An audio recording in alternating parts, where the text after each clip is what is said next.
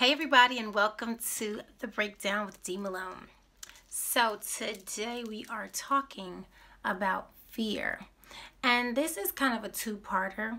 And I call it the fear factor, but today's lesson is called Fear for Your Life. And it is spotlighting fear.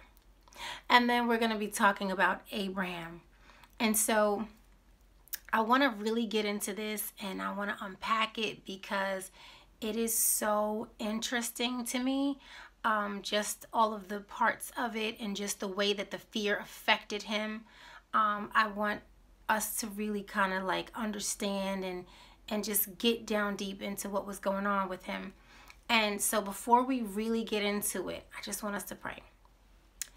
Father God, let the words of my mouth and the meditations of my heart be acceptable in your sight. Father God, I thank you so much for this day. I thank you for all that you have done, all that you're doing, and all that you are about to do.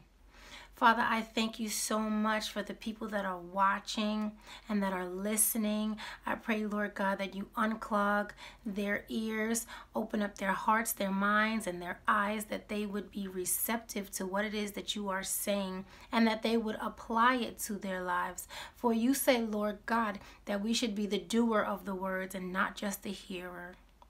So bless your holy word, Lord God. Thank you so much for all that you're doing. Lord, I ask that you just use me in this very moment. In your name, Jesus, amen. So let's go right into the scripture, which is uh, Genesis chapter 12. And we're going to go straight to verse 11 through 13 and I'm to I'm to read it from my phone. So it reads as such. As he was about to enter Egypt, he said to his wife Sarah, I know what a beautiful woman you are. When the Egyptians see you, they will say, This is his wife. Then they will kill me, but they will let you live. Say you're my sister, so that I will be treated well for your sake, and my life will be spared because of you. May the Lord add a blessing to the reading of his holy word. Let me make sure I say that. Um, what, Abraham? Abram and Sarai. What is fear? So the dictionary says fear, an unpleasant emotion caused by the belief that someone or something is dangerous likely to cause pain or a threat. So yeah, that sounds about what Abraham was feeling, Abram was feeling. Now that we've discussed what fear is, let's go back to the beginning of this chapter. So the Lord speaks to Abram and he says to him, I'm going to make you the father of many nations. I'm going to give you a nation. Um, I'm going to give you a, a child, and your child will inherit the land. So I'm giving you this land, and uh, he tells him that he's going to make him famous. Okay, so now leave here. You're going to take your wife, and you, he took his nephew Lot, and he took them, and so he left his the rest of his family, took everything that he had, and he left you know the other people in in on the land he left them behind. Okay now soon as god gave him that word god said go to the land that i will show you. Abraham was obedient. Like he didn't say a word. He didn't question the lord. Nothing. He just did it and that's great you a man of great faith that that's who abram is and so with this promise, he, I felt should have been secure because as soon as the Lord told him, he was up and out. He left. He took Sarai. Lot went with him. They were on their way. And when they got into Negev, there was a famine there, so they headed out and went to Egypt. Now, they get to Egypt, but before they go into Egypt, this is when this conversation happens. So listen, he says, Look, you're beautiful, and I know it, And as soon as they see it, they're going to know it. And they're going to kill me because of, you know, what I look like. And they're not going to believe that you are my wife. So do me the favor. You love me, right? If you love me, tell them you're my sister. On the flip side of that, I'm wondering what is Lot thinking? Like, yo, Unc, you tripping. but I digress.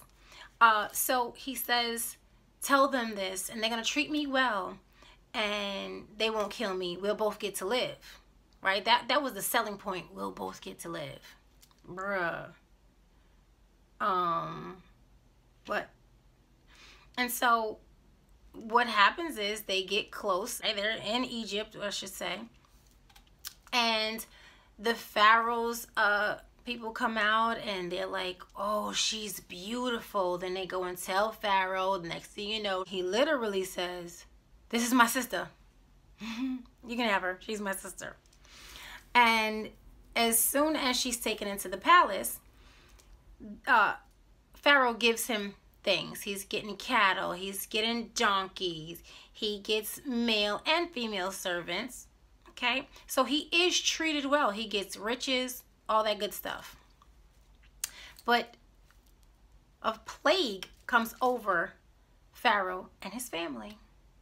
And the Lord appears to him and is like, bruh, you need to let her go because this ain't to look good for you.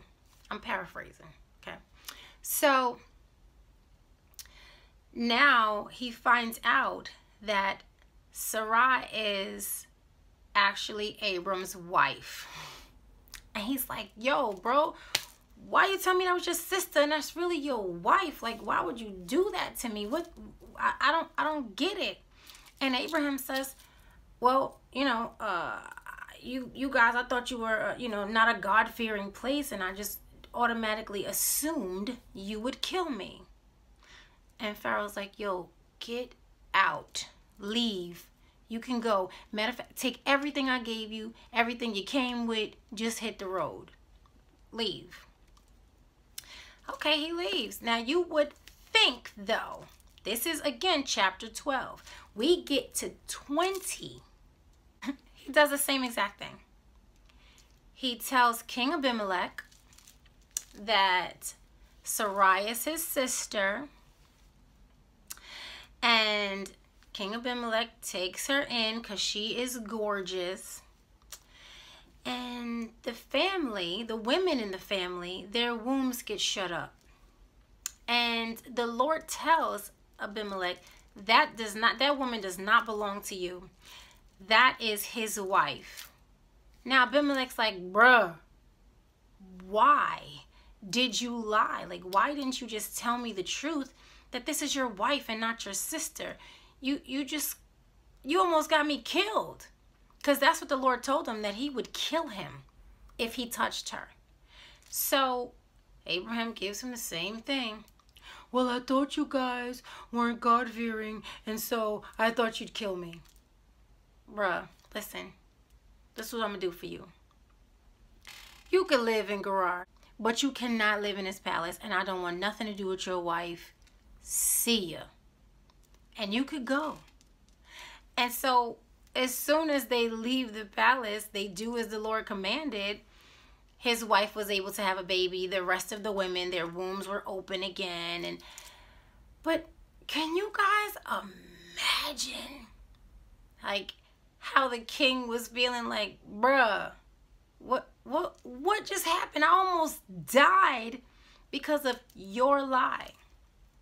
So listen, I want to help us um, with like five points to keep us from having this fear. Um, because for one, God did not give us the spirit of fear and timidity, but of love and sound mind. First thing I want us to do is I want us to trust in the Lord. Trust in the Lord with all your heart and lean not to your own understanding. And see, I don't think that Abraham trusted in the Lord. Like he got this promise, and I think he forgot about that promise. And instead of him just facing the fear that he came up with, he decided to be selfish. See, the trust part is already like hard, right? Because sometimes we allow our circumstances to guide us and make us, you know, lose our trust in the Lord. But now you looking at the circumstances and now you coming up with your own things and your your your own ways to fix the situation. No. Let's lean on what God says right? Lean on the everlasting arm. I do love that song.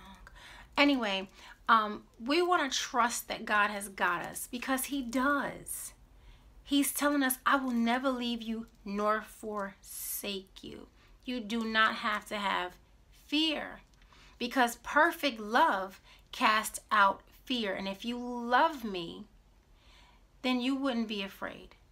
And then the other thing I want us to do is I want us to face our fears. I can understand sometimes when, you know, you're uh you get a little nervous. Let's say you got to sing somewhere or you've got to do a presentation at work. I get the nerves. But you got to face that thing. You got to tell that thing, I got this.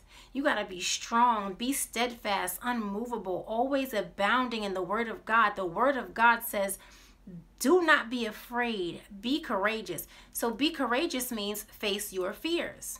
So the other thing that I want us to do is I want us to question that fear. Where did this fear come from? Where is it founded? Is it somebody else's fear imposed on my heart? And now I believe that fear? Because that too can happen. And then it's it's embedded in your heart. And now you're afraid to do it because somebody else didn't make it or you know something like that so i want us to question where the fear comes from so that we can we can banish it when we know where it's coming from. Let's say it's an insecurity like abraham. Abraham was super insecure and that caused him to have that fear muster up in his heart and explode out of his face with a lie. And then the last thing is do not lie.